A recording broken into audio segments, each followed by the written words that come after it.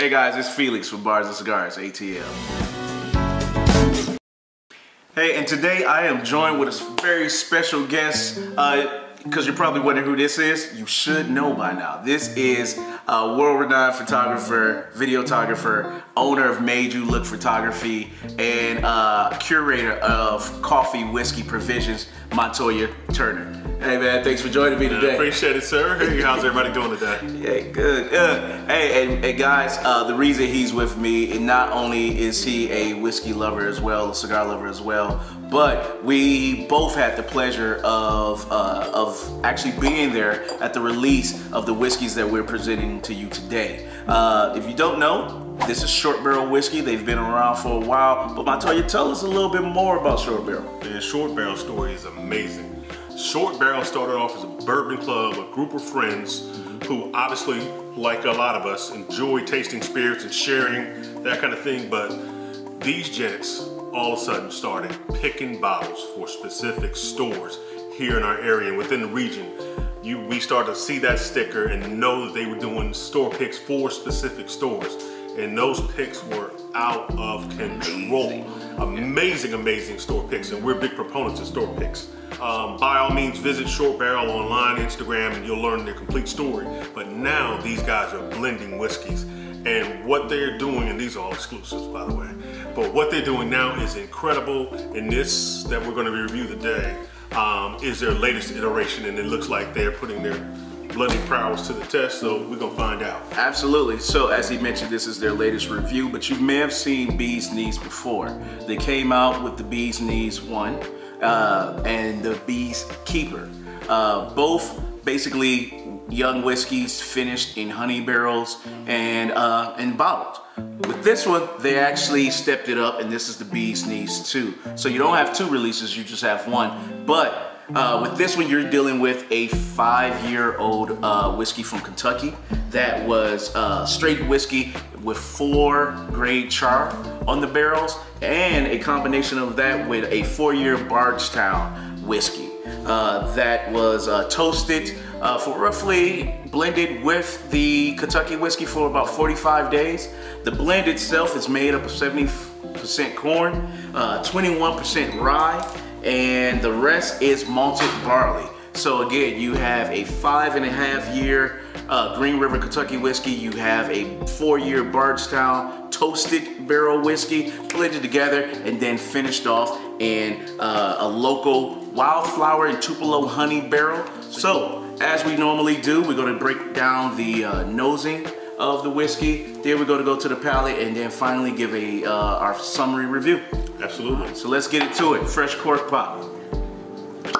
Ooh, yep, gotta love it. Oh yeah, that, Mind if that? That's the music right there. Come on with it. Instead of just using industry run-of-the-mill honey, they actually went with a honey uh, maker, a artisan honey maker. So let's get into it. First off, that honey is in the color. It is a bright golden uh, whiskey. Nice kind of orange amber kind of undertone to it, but definitely light and shiny, just like if you poured warm honey into a glass. What are your thoughts?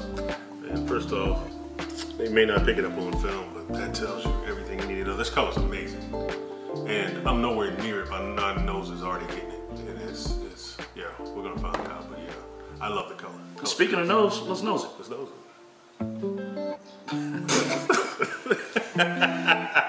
it is Woo! Had to do a Ric Flair on it. It is a uh, tablespoonful of honey. Uh, you get the Tupelo honey, the wildflower honey. You know how when you you know when you were young and you were coughing, you couldn't stop coughing, and then your grandmother come in and give you a tablespoon of honey. That's exactly That's it. what we got right here, except for the grown up Yeah, grown this, up version. this is an adult version of that. right. Loving the nose, Oh my god. very distinct on the honey. That sharp, bright honey scent. I really do like it.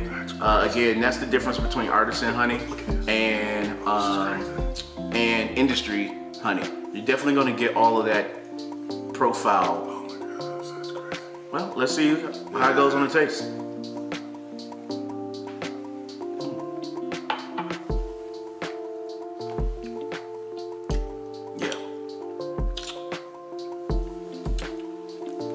There's a surprising amount of texture um, to this whiskey. So let's go to the palate and explore that more. You're going to get that coating of honey all over the tongue, roof of the mouth. Uh, that brightness from the flower and the actual uh, honey, it's in the profile. It actually rises up into the nostrils. Uh, yeah, this is basically, I mean, a really sharp cooked down honey. Uh, it blends with the whiskey very well, so you still get notes of vanilla. You still get that that toasted char, so it's a little bit of that caramel and and oak in it. The oak is not lost in this at all. Yeah. And um, and it's that sweet oak. And I'll tell you the other thing is the finish. Front, mid, back palate, and the finish is long like train smoke. Oh, this it's the pepper, that spice. It's it's this is hold on, I gotta go back. This is Yeah. Now I think the proof on this one is uh, 114. So I love where the proof is. Uh, it gives you perfect proof. gives you enough of that warmth and that finish that if you're an experienced whiskey drinker, you're gonna you're gonna love that. Also, because of the honey and that sweetness, that just natural sweetness, it's not artificial at all. You're if you're a new whiskey drinker or just kind of used to maybe more lighter proofs, it still gives you enough of that comfort and that sweetness uh, that you'll be able to kind of sit down and sit with it without it being overbearing or too hot for you. Wow. And the 114 gives you all the depth, all the dimension. The whiskey does not get lost in the honey. So it's a whiskey forward. The bourbon's all there. So it's not lost.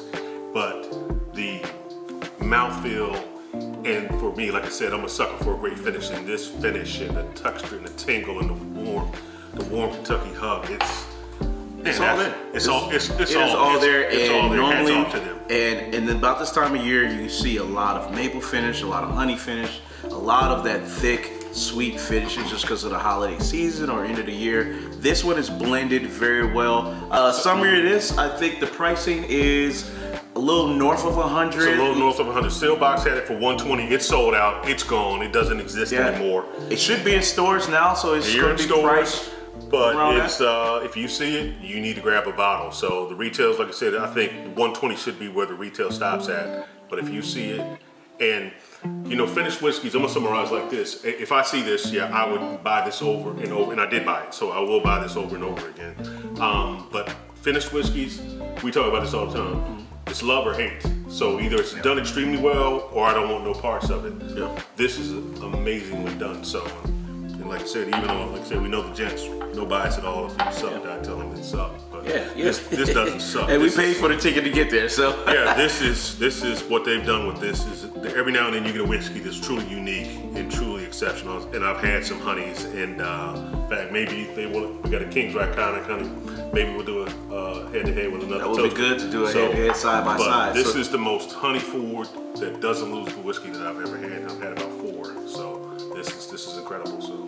So guys, if you see Short Barrel again, if you're here local in Atlanta, you'll definitely see it. I don't know exactly all the markets that they're in, but reach out to them, follow them on Instagram. Uh, again, we have other iterations that they have. We'll be drinking through those as well.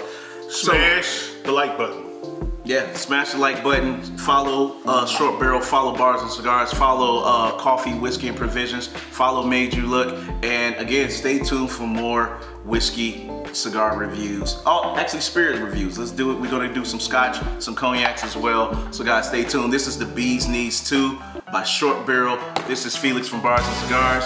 This is Montoya from Coffee, Whiskey, and Provisions. And salute.